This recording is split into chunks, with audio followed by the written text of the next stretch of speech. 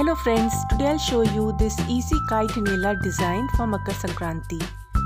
This is an easy trick which you can use to get the kite design on your nails.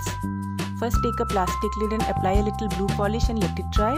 Then dab on some white polish with a sponge and draw the shape of a kite using a marker pen.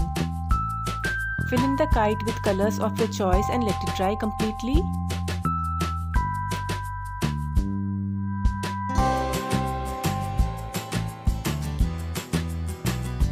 When the design dries up, peel it off and then apply blue polish on your nails and stick the decal on your nails. Cut off the excess on the sides with the scissor and melt off the remaining with nail polish remover and a cleanup brush.